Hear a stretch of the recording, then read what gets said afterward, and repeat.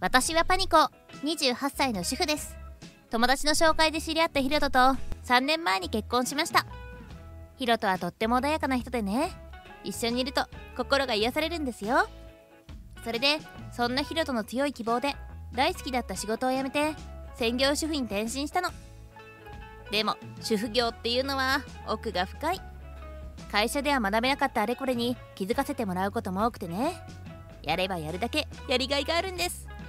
それに実家近くのマンションに住んでいるから時間ができると実家に行って母に料理や節約術を伝授してもらっています。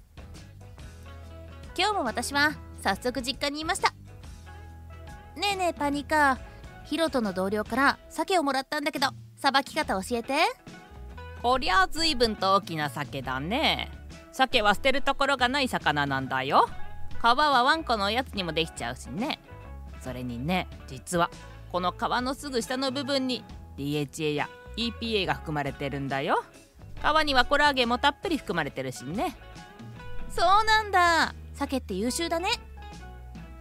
こんな感じで私は料理上手のパニカーからいろいろと教えてもらっているんです。料理の後はまったりと親子でのティータイム。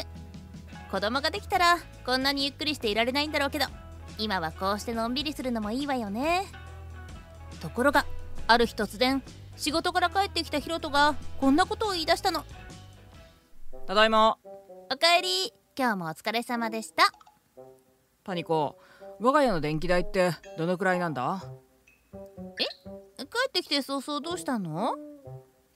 今まで生活費とか光熱費とかに興味がなかったヒロトが突然言い出したもんだからびっくりしちゃいました。うん。会社で女子たちの話を聞いててさちょっと気になったんだよ。なるほどね。そういう部分に興味を持ってくれるのは嬉しいかも。このくらいかかってるよ。私はそう言って結婚してから今までの家計簿を見せたんです。ヒロトはじっくりと家計簿を見た後こう言いましたずいぶんかかってるな。うーんそこそこ節約もしてるんだけどね。でもほら物価も上がって。もっと節約しろよ。私の言葉を遮ってヒロトはそう言いお風呂に行っちゃいました。突然のことに私は困惑していました。そして翌朝もヒロトはいいか。今日からしっかり節約しろよ。そう言い残して仕事に行ってしまったんですこれでもそれなりに気をつけているつもりなのに。でも私その日からより一層節約に勤しみましたよ。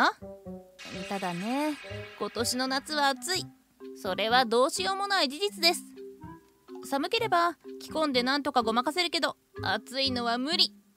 倒れて病院行きになんてなったら元も子もありません。だけど私はエアコンの設定温度を高めにしてサーキュレーターと扇風機を活用したりしたわ。節約は楽しみながらするもんだよ。節約のために目くじら立ててたらそれはそれで人生寂しいからね。母にそう言われたことを思い出しながらね。できる限りの節約をしながら生活して1ヶ月ヒロトからまた家計簿を見せるように言われたんです。家計簿を見たヒロトの顔はまるで鬼。ここここの金額は何だ？節約頑張ったのよ。ほら食費だって抑えてるし。問題はそこじゃないだろう。なんだこの光熱費は。平均並みだけど。平均並みだって？いやむしろ安い方だと思うわよ。ふざけるな。高すぎるだろいやいや高すぎるって何と比べて高いの？それにねあなたも体感してるでしょ？まだ夏本番前なのにこの暑さよエアコンだって使うし健康を維持する上で必要最低限の電気代でしょ？生活費だってしかりよ。俺の給料でやりくりするのが主婦であるお前の仕事だろ。特に電気代は月1000円にしろ。え？聞きました？電気代1000円って無理に決まってるでしょ。ういやそれは。やれと言ったらやるんだよ。俺が養ってやってんだからそれぐらいどうにでもできるだろまたそれだけ言うとさっさと仕事に行ってしまったヒロト専業主婦になってくれって言うから仕事も辞めたのに。私はすぐに実家に駆けつけて母に相談することにしたの。ひろとさんもずいぶん無茶なこと言うね。どっかで間違った知識でもつけてきちゃったのかね。本当よ。急に節約とか節電とか言い出すんだから。電気代1000円ってどっから来た数字なのよ。一人暮らしでも無理じゃない？私は怒りを母にぶつけちゃいました。しばらく考えた母はにやりと笑ってこう言いました。よしパニッコ私が何とかしようじゃないか。本当？もちろんだよ。急に節約節電に目覚めたってことはきっとその理由があるだろうしね。なんか怪しいわ。実は私もそう思ってたのよ。パニカーが味方なら心強いわそれから私たちは相談していろいろ計画を立て実行しました。まず契約アンペア数を一気に減らして10アンペアに。これにより基本料金が1000円以下になったの。でもさ使っちゃったら1000円は超えるから使えないわよね。ってことで我が家はこうなりました。ただいま。って暗っヒロトが帰ってきましたよおかえり。ー！やーって何よ。ヒロトったら懐中電灯で照らした私の顔を見て驚いたの。まったく失礼な話よね。あおお化けかと思った。つうかなんで真っ暗なんだよ。そう言って電気をつけようとしたヒロト。ダメ電気の契約アンペア数を10アンペアに変えたの。基本料金は1000円以下になったけど使うと1000円超えるからダメ。マジか。1000円にしろって言ったのはあなただからね。でもね電気はなくてもアウトドア用のランタンをそこら中に置いてみたの。これがなかなかいい感じなのよ。あのー、暑いんだけど。もちろんエアコンも扇風機もダメだよ。な嘘だろ。はいこれで涼んでね。そう言ってうちわを渡しておきました。しぶしぶ着替えながらテーブルの上を見たヒロト。えご飯ってこれ？うんご飯を作ったら光熱費がかかるからね。今はとっても便利だし美味しそうでしょ？これ全部テイクアウトなのよ。えパニコの手料理は？だから私が作ったら光熱費がかかるの。ヒロトは私の手料理が大好きなんです。でもそれも無理ね。あー残念。あーちなみにお風呂に入りたかったら銭湯にでも行ってきてね。えあつ疲れてるのに？家で汗を流したいなら水シャワーだけどそれでもよければ。ああそれからワイシャツはクリーニングでインナーはコインランドリーを利用するからそのつもりで。嘘だろ。こうしてこんな生活を1ヶ月続けたんです。これじゃあ私も辛いんじゃないかって？そこはほら味方がいますから。パニッコ。いつでもうちに来ていいんだよ。ご飯もお風呂もね。それからスマホの充電も。昼寝だってしたらいいさ母がこんな風に言ってくれたので甘えてるんです。うーんパニカーの手料理おいしい。えずるじゃないですよ。実家に行ったらダメなんて言われてませんからね。そして1ヶ月が経ちました。さあ楽しみね。家計簿見る？ヒロトが休みの日に私は自分から家計簿をウキウキ気分で見せてあげたの。そして家計簿を見たヒロトはあ電気代が1000円だ。あでおい。家計簿を見ながらわなわな震え始めました。あらどうして怒ってるの？電気代を1000円に抑えたんだから褒めてもらえると思っていたのに。なんだよこれ。電気代は下がったけど生活費がめちゃくちゃ上がってるじゃないか。あらだって必要最低限の電気が使えないってそういうことじゃない？家でできていたことができなくなるんだもの。だだだけど。だけどじゃないでしょ。言い出したのはあなたよ。私は忠実にその理不尽な言いつけを守ったまで。私何か間違ってるかしら？何も言い返せないみたいね。それじゃあさらに追い打ちをかけてあげようかな。それで？急に電気代を節約しろとか言い出した理由は何？え？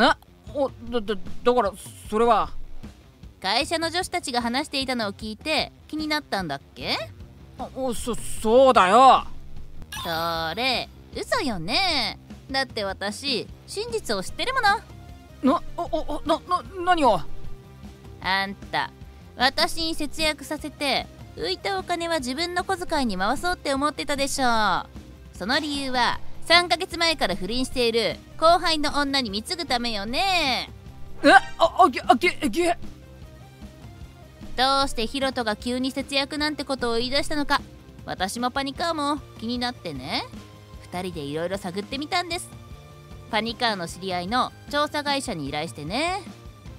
結果ヒロトの浮気が発覚。ほらこれが証拠よそう言って調査結果の書類をヒロトに叩きつけてやったの。ああああああ言われるがまま電気代を下げるのは尺に触るからねその分他の生活費をがっつり上げといたからこれじゃああんたの小遣いが増えるわけないわよねあああそれから不倫してるんだから私たちは離婚ねえおそそんな俺パニコの手料理好きだしまさか離婚になるなんて思わなくてあああ遊びだったんだよ。遊び。俺の一生のパートナーはパニコだけなんだ。それなのに離婚だなんて考え直してくれ。甘いわ不倫してるのを知った段階でもう離婚一択。あんたにも相手の女にもしっかり慰謝料請求させてもらうからね。そそんな許して。許さん。小遣いが上がるどころか慰謝料の支払いで小遣いすらなくなるね。一括請求させてもらうから覚悟しといて。しばらくヒロトは離婚したくないとごねたけど無事離婚することができました。有言実行。ヒロトと相手の女には慰謝料を一括請求してやったの。さらには仲人をしてもらった。ヒロトの上司にもしっかり。夫が後輩の女性と不倫しましてこの度離婚する運びになりました。って報告をしておきました。ヒロトと不倫相手はどっちもしっかり一括で慰謝料を支払いました。だいぶきつい状況だったらしいけどね。取り損ねたら困りますからそこは絶対に譲りませんでしたよ。でもね2人ともそこそこ散財していたからカードローンやキャッシングギャラ闇金ギャラでお金をかき集めたらしくてね。借金の支払いで首が回らない状態になったらしいわ。ヒロトは会社以外にも朝から晩までバイトを掛け持ち。不倫相手は会社に居づらくなって辞めたものの借金の支払いのために夜の世界に飛び込んだんだって。そのせいで2人の関係は結局うまくいかなくなって別れたんだとか。まあ私には全然関係ないけどね。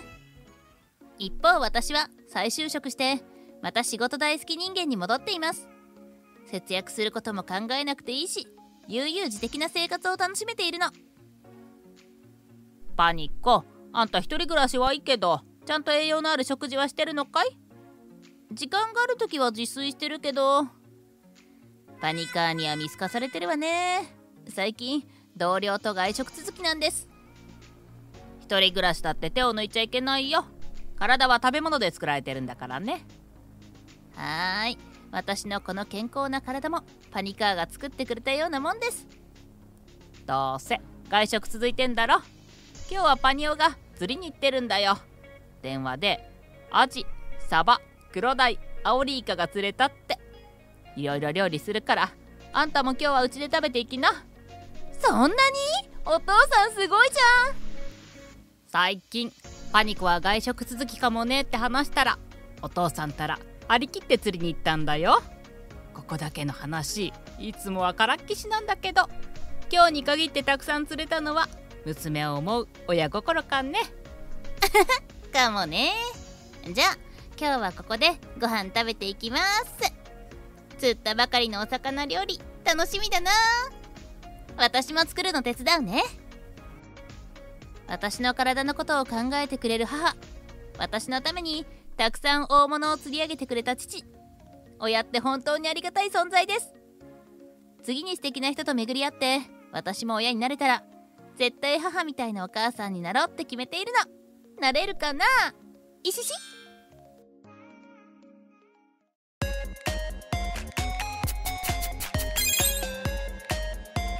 ご視聴ありがとうございます。